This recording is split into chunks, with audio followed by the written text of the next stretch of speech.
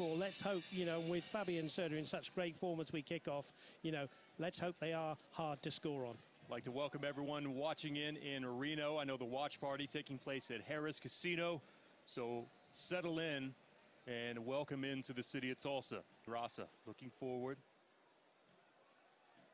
Leaves that one through on the run. Contact there, shot, and Cerda had to come quickly into action to keep Reno off of the board. And it was a good save and a test here in the 16th minute against Fabian Cerda with your Oklahoma weather specialists.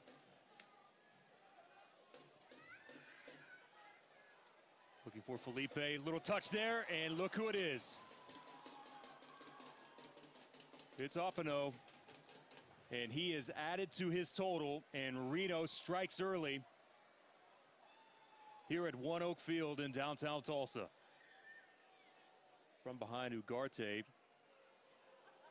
Ball somehow still came free.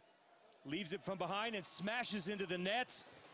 And there's that man, Dane Kelly, has put Reno on the board with goal number two. So both leading scorers have a goal here in the first 26 minutes for Reno 1868 FC. Toronto seems to have the wall exactly where he wants it. Referee has the proper amount of space. Here's Juan Pablo Caffa. Shot directly in. It slams into the net. Are you kidding me? Juan Pablo Caffa just froze the keeper. He's an outstanding free kick. Here's the shot from our, our camera right by the goal. Look how close this is to the post side netting. That is perfection. Fernandez settles to Corrales. Corrales' curling ball. Svantesson header! Target there. He, he's just wide. What a great ball from Corrales. And there's Svantesson thumping the turf after this because he knows he's gone wide. Perhaps another time would have headed it back across goal. But this is tremendous response from the Roughnecks. The Roughnecks, they keep coming at Reno here. Good save there and an opportunity. It's in. Svantesson on the follow through off of the deflection, and we are level at two. Well, that's 67th minute. That's exactly what we were just saying. That's where you want Ian Svantesson, the goal scorer inside the six-yard box. There's Caffa with the shot. Good save from the keeper. Sometimes they go around the post. Sometimes they go straight to the foot of the oncoming striker.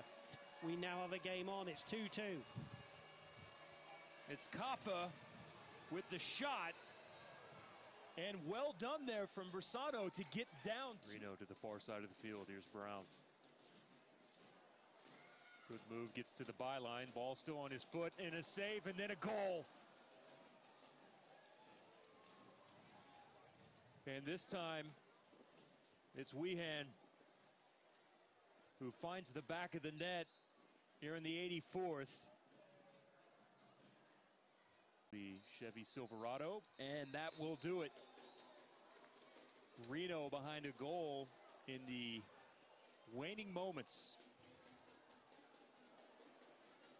And the winner comes from Chris Wehan.